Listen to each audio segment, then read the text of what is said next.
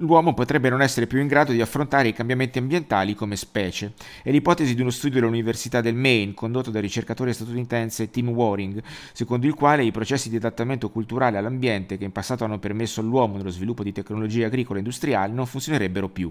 Tra le cause principali lo sfruttamento intensivo e il progressivo esaurimento delle risorse naturali, che sempre più globali e meno locali sono oggetto di contese e di lotta tra le società umane. La conclusione dello studio disegna uno scenario inaspettato. Proseguire con gli stessi modelli di sviluppo che hanno condotto l'umanità a piegare la natura significherebbe andare verso l'autodistruzione. La soluzione dunque sarebbe quella della cooperazione tra le società umane e la pianificazione di un sistema di sviluppo mondiale in grado di superare le priorità divergenti di ogni gruppo sociale e questa, secondo Waring, sarà la sfida più difficile da superare.